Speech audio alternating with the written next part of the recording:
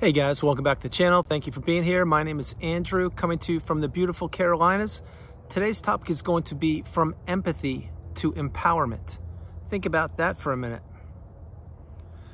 If you like the content, please like, subscribe, and share. So, you were in a narcissistic relationship, perhaps you're still in one, and most likely you have a higher degree of empathy than most people on the planet. Perhaps you even call yourself an empath. And if this is you, I would watch this full video. Point being that you are someone who concerns yourself with the betterment and or well-being of other individuals.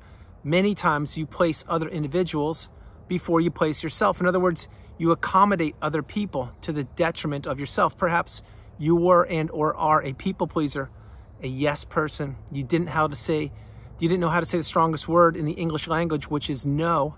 And remember, when you say no to something, you're saying yes to yourself. But this is all part of you, what makes you you. And perhaps you are an empath. And if you are, God bless you, you're an amazing human being. We are all equal on the planet, everybody, whether you are an empath or not. However, the narcissist saw this level of empathy that you had and or still have within you, and they weaponized it against you for a length of time, which was the period of the relationship of the narcissistic cycle of the relationship. They knew you better than you knew yourself. And I'll tell you why. Because when you first meet the narcissist, bear in mind, they know what they are about to do to you. Their job, their goal, their mission, their purpose is to take, take, and take. And when they're done, what do they want to do? That's right, they want to take more. You, as a beautiful, bright, shining light, as an empath, you don't know what it's like to take. You know what it's like to contribute, to build, to nurture, to grow, to heal, to help to see people succeed. That's what an empath does. An empath is the ultimate team player. And this many times can be to the detriment of the empath. Now, if you've gone through the narcissistic abusive cycle, I know for a fact your empathy has not changed. As a matter of fact, it's probably grown stronger. However, you certainly now have boundaries and you do know what is right from wrong. In other words, you know now that you can't place other people in front of yourself. You've now understood that you come first, second, and third. Yes, you can still help people out. Yes, you can still contribute to the planet, and I'm certain you do. However, you don't just drop what you're doing at the moment's notice of a hat and just come to save everybody. Remember, you can't save everybody. And this is, as the thumbnail mentions, from empathy to empowerment to empowered. What that means is you have come through the narcissistic abusive cycle. You've endured the toxic relationship or perhaps relationships. And after many, many periods of time in the relationship, you finally got the message, which is, yes, I'm an empath. Yes, I'm beautiful. Yes, I have, I have a lot of abundance. And yes, I have a lot of energy. And yes, I want to contribute to the betterment of this planet and those loved and trusted ones around me. However, now I am empowered. I am empowered with the knowledge, with the education, with wisdom, with experience. I now can see what the narcissist saw in me when I met them which means, yes, I'm still a kind, loving, beautiful, healthy individual. That's what I am. That's what you are.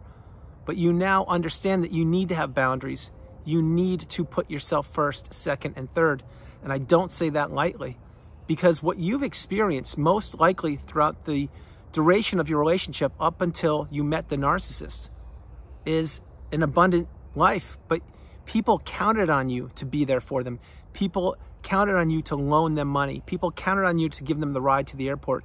People counted on you to clean up after their mess, meaning perhaps pick up their mail when they were away on vacation or to loan them the lawnmower and have it not be returned for days, weeks, or months on end, or for you to contribute to the betterment of individuals. I'm not saying just the narcissist, I'm saying people on the planet overall. And that's a good thing. However, there comes a point in time in everybody's life, at least that's my hope. If you are an empath, that you understand that, wait a minute, I am in many relationships, some of which are narcissistic relationships, and these are not reciprocal. They don't benefit me. They never have. Perhaps the people you're thinking about right now are even your siblings, your parents, your neighbors, your friends of 10, 20, or 30 years, co-workers, whomever. Eventually, people show their cards. They show what their true intentions are. And maybe they're altruistic, Maybe they're not. Maybe they're meant to take you down. Maybe they're meant to just extract resources from you. Example, let's say you live in a neighborhood and you have barbecues at your house and people always are invited. It's open door policy because that's the kind of house you have. And if you if that's you, beautiful, God bless you. And then what happens is next weekend you go to other neighbor's house and it goes on and on. And that's your summertime life. Or when I lived in Costa Rica, that's what we do frequently. We would barbecue at different people's houses and it was different people's turns to do so. And that's great. But then there are always those people that just attend the barbecues. They don't have the barbecues and they consume, they don't contribute. Now, I'm not saying that those people, perhaps they didn't have the area to have a barbecue. Perhaps they did. But what they chose to do was show up to eat and drink freely and not contribute. This is what I'm speaking of. Your empathy becomes empowerment when you identify and recognize people who want to be in your corner, who want to be on your side, and who will be there for you in times of abundance as well as times of perhaps concern. Another example, you were ill, you were sick because you were in the narcissistic abusive cycle and the weight of that relationship it created issues for you, health issues, let's say. Perhaps you had a detached retina or multiple knee surgeries, as an example. Who was there to actually be there for you, to visit you, to comfort you, to check in on you? Were there many people there? Who knows? But when you understand that when the chips are down, what you do is of the utmost importance, and your empathy will be played upon. And believe me when I say it, it will be played upon until you get empowered and you get the message that not everybody on the planet deserves your empathy. And just because you are an empathetic human being, it doesn't mean it's an open house on your empathy. Because as an empath, you also get drained. You also need to recharge your battery. That's why many times empaths don't like crowded environments. They like to be more one-on-one with people and have intelligent, uplifting communication with people. And guess what? The narcissist gobbles that up. Why?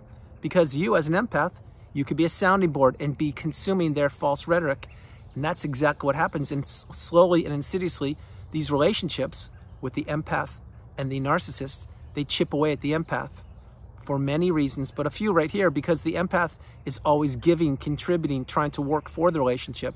The narcissist is consuming and taking and trying to destroy the relationship. That is what it is in a nutshell. It's not until you get the wisdom on channels like mine and many others, and again, thank you very much for being here, that you understand your empathy is a superpower.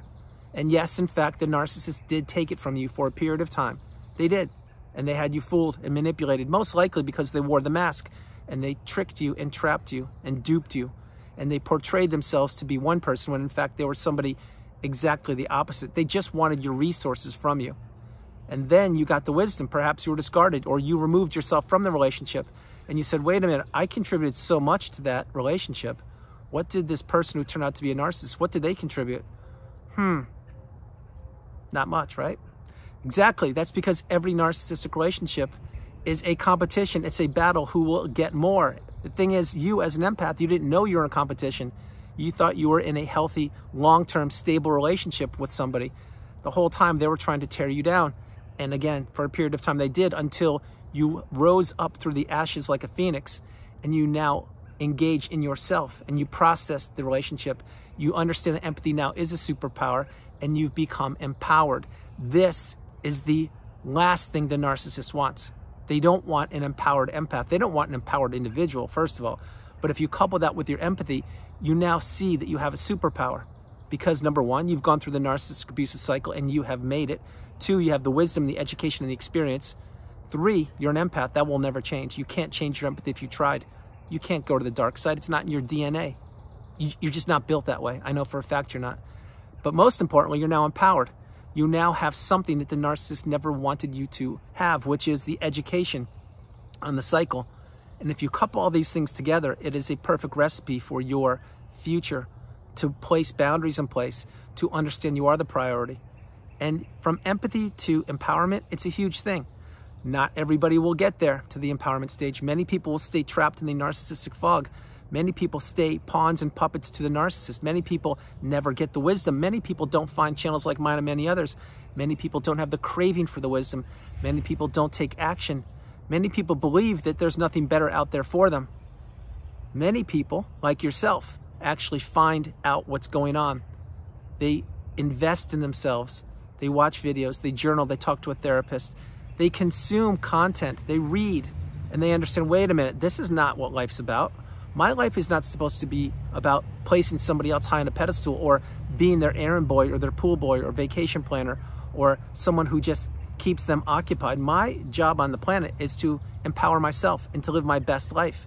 And that is something the narcissist never wants you to figure out. They don't. They want you stuck in the narcissistic fog where you are just yearning for them, spinning around on a hamster wheel, trying to please them to the detriment of yourself. So from empathy to empowerment, what that means, before I close the video, it means you, I'm certain you still have your empathy. You don't lose that. You can't lose that. Once you have it, it's a gift. And that gift needs to be shared with those who benefit you and with those who you want to help out. However, it shouldn't be shared with anyone to build them up to the detriment of yourself. Also, empowerment, that's a huge thing. Many people may say, oh, I'm empowered. But are you really? Did you go through the narcissistic abusive cycle? Did you face childhood demons and or heal childhood wounds? Did you actually have to understand and be authentic with yourself that this relationship was not what you thought it was? Did you have to practice radical acceptance? Did you have to actually understand the glossary, the definitions and the terms on the narcissistic abusive cycle? Did you have to spend countless sleepless nights by yourself? Did you have to cry endless tears, pace around, lose weight? Did you have to fight for your identity, for the strength to get out and buy bottled water in the store? If you if you did, you know what I'm talking about.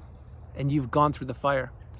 So guys, that's the video. I hope you liked it. I loved doing it from the beautiful, sunny Carolinas. This is Andrew. Namaste. Have a great afternoon, evening, or morning, wherever you are on the planet. And remember, from empathy to empowerment, your empathy won't go away. It can't. It's a gift. And if you are one of the rare people that considers yourself an empath, drop comments below. You're a rare breed, a special breed. You are unique, beautiful, and abundant, and that most likely is what the narcissist went after, your abundance, your beauty. They can't have it any longer because my hope is you've gone no contact, blocked them, deleted all flying monkeys and people associated with the narcissist, and you're living your best life or you're well on the healing path. And empowerment, that is something that you can say. People say it frequently, I'm, I'm empowered, but really ask yourself, are you? Could you be more empowered? If you've risen through the fire like the phoenix coming through the ashes, and you've made it this far, I can assure you you're empowered. You may not even know it. But remember, keep your boundaries in place, learn how to say no, invest in yourself, and spend your time wisely. Wherever you are on the planet, I love you. God bless you. Have a great afternoon, evening, or morning, and I'll talk to you tomorrow. All right. Bye, you guys.